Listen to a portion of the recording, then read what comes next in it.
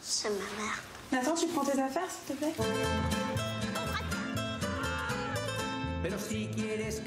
Tu prends pour un con, quoi. Qu'est-ce qu'on s'est dit il y a deux jours, hein?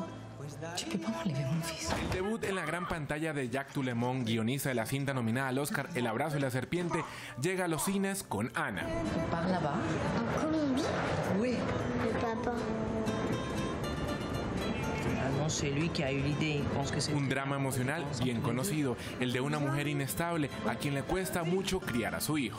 Ana cuenta la historia de Ana, que es interpretada por Juana Costa, que es una colombiana que vive en París, que tiene un hijo de 10 años y se aman, se adoran, la pasan buenísimo juntos, pero el problema es que el exmarido de Ana ya no confía en su capacidad de ocuparse del niño.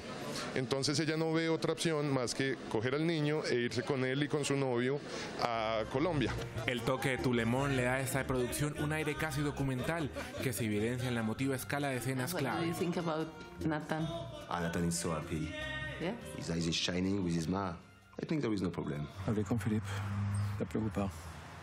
Ay, no me jodas. A mí como director me gusta ponerme en la misma situación que el personaje, que el actor.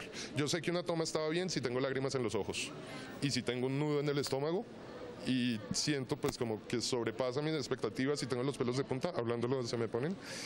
Y eso tuve la suerte de que pasó mucho en la peli y en las grandes escenas como que creo que logramos trascender un poco el guion y llegar a esta, a esta fuerza. La cinta cuenta con una ingeniosa descripción de Colombia, donde alterna el sentido de libertad y de belleza, con un calor opresivo y un ambiente misterioso.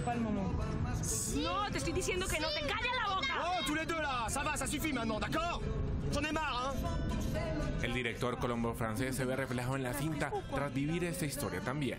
Ana es una peli bastante eh, autobiográfica, o tiene muchos elementos autobiográficos. Pues yo me llamo Jacques Toulmont, vivo en Colombia, crecí aquí, viví en Francia 10 años y siempre he estado dividido entre los dos países. Yo pienso en francés o en español y siempre me consideran como un extranjero en Colombia, como en Francia. Entonces por eso estaba también, para mí era evidente que tenía que ser entre estos dos lugares. Jacques escogió a Juana Cosa por tener cierta similitud con la cinta y su versatilidad actoral.